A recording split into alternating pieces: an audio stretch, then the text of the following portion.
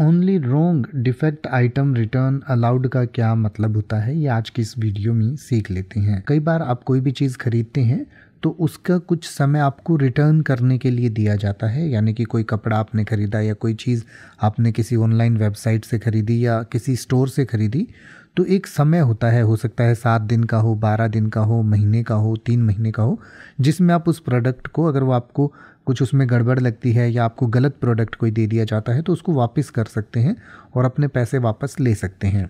तो उसी को कहा जाता है कि केवल जो गलत प्रोडक्ट आपको दे दिया गया, यानी कि मान लीजिए आपने मंगवाया ब्लू आपको दे दिया रेड तो उसको रिटर्न कर दिया जाएगा या डिफेक्ट जो है, उसको रिटर्न कर दिया जाएगा। मान लीजिए उसमें कोई ख़राबी है, कोई कमी है, या वो चीज़ सही से काम नहीं कर रही है, तभी जो है वो रिटर्न उस चीज़ को किया जाएगा।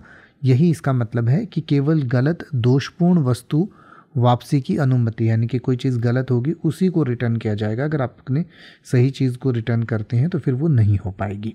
अब आप ऐसे ही किसी भी वर्ड का मतलब हिंदी और इंग्लिश में यूट्यूब पर सर्च कर सकते हैं। आपको मेरी वीडियो मिल जाएगी, जिसमें आप बिना किसी फालतू बकवास के सीधा उस वर्ड का मतलब समझ पाएँगे। तो ऐसी ही वीडियोस को देखते रहने के लिए चैनल को सब्सक्राइब करें और बेल आइकन को प्रेस करें।